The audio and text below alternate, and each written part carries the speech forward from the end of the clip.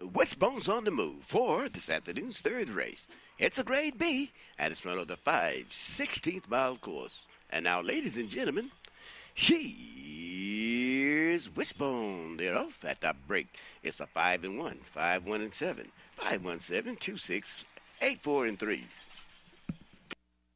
Now into the first turn. It's still a five and one, five one and two, five one two and six. A Greyhounds down the backstretch. It's the five one two and six, five one two six still and eight. Here they come into the final turn and down the home stretch. The race is on. Here comes the two on the inside and the one on the inside. One and too close to call between the two and five. Ready to place number five, riding the storm out. Riding to show number two, U-Haul Speed.